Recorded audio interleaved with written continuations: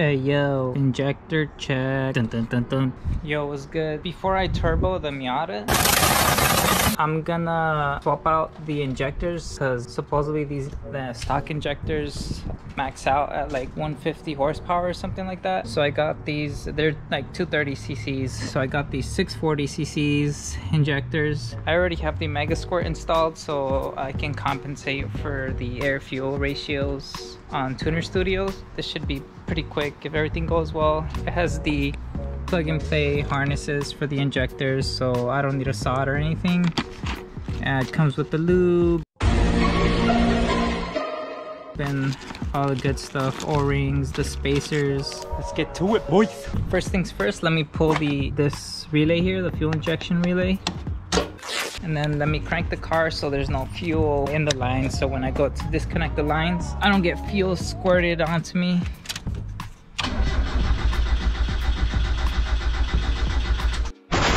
Crank it some more. All right that should be good good enough. And then I'm gonna mark the fuel feed and fuel return line just to distinguish one from the other. I don't know which one's which, but I'm gonna mark this one goes to this one and the other one's not marked.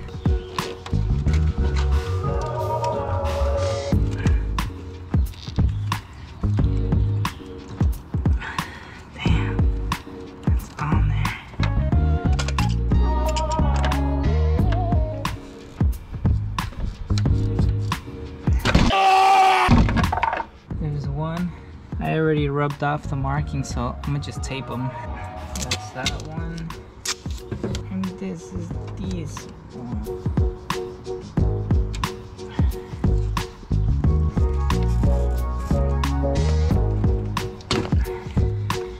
Now just to remove the PVC hose that's in the way.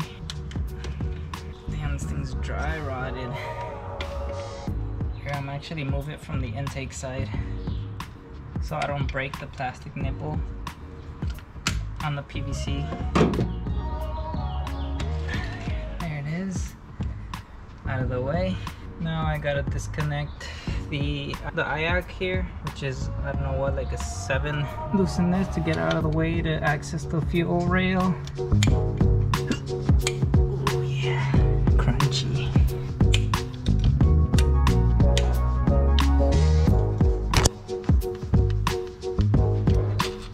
This thing has probably never been taken out. Look how clean the bolts are. They look brand new still. These here are two coolant lines, by the way, so I don't want to disconnect them and have to bleed the coolant.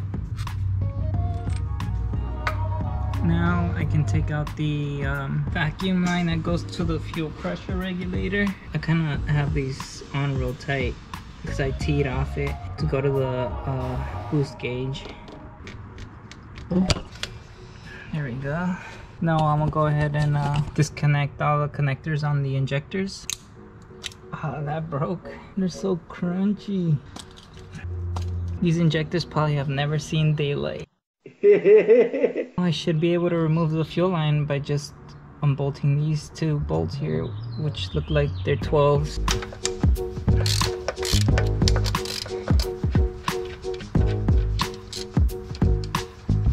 There is some plastic spacers that I don't want to lose in the engine bay, so let me grab those now. It's these here, in between the uh, the head and the fuel rail.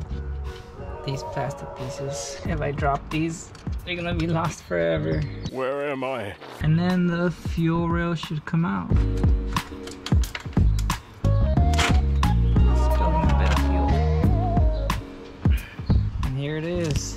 Injectors don't look too shabby. Nice. Anyways, so I'm gonna just remove them and install the higher flowing ones. So here I have the injectors all assembled and lubed up, ready to get installed on the fuel rail. So here's the old ones, and then here are the new ones. I'm gonna go ahead and just pop these in now. I'm gonna go ahead and clean the uh, sealing surface of the injectors because there's like a bunch of dirt and stuff, so I'm gonna clean those. I'm a dirty, dirty girl. So there's no leaks.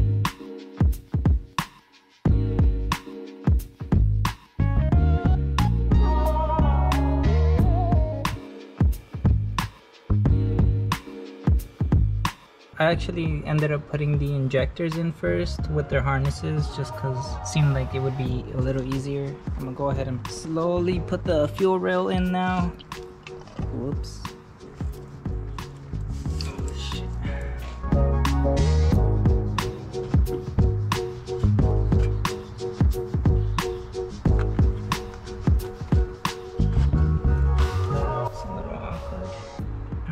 Slid in. Now I'm gonna put the plastic washers with the aluminum washer that the kit provided.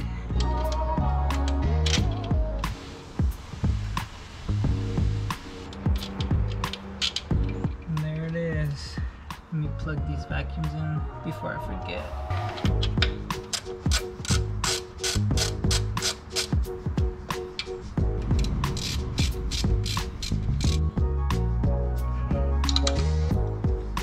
tighten these to Lonzy spec so make sure they're loose. Now I'm gonna go ahead and connect the fuel lines or actually this I guess. The PVC hose do I even need this bruh yeah I do there it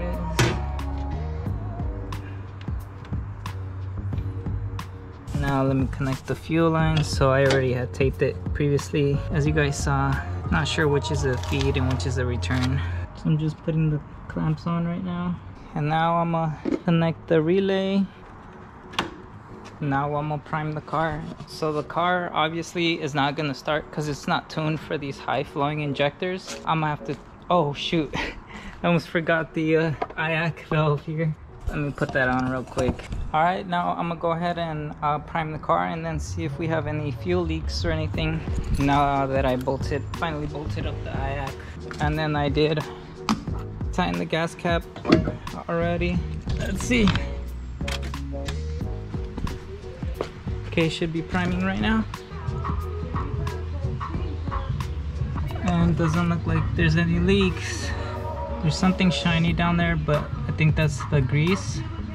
The assembly lube that I used. Yeah. Yep, they're all dry. Good.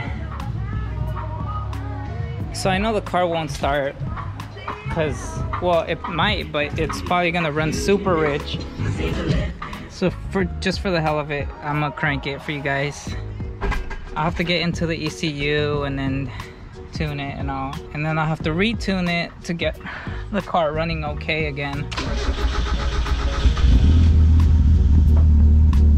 Yeah, it, it turned on, but you can hear it's like super rough. Look how rich it is.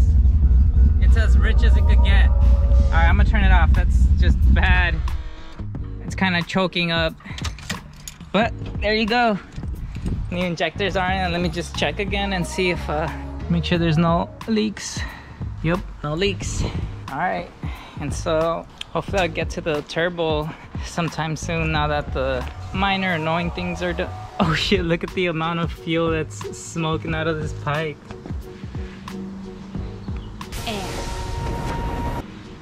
Can you guys see it?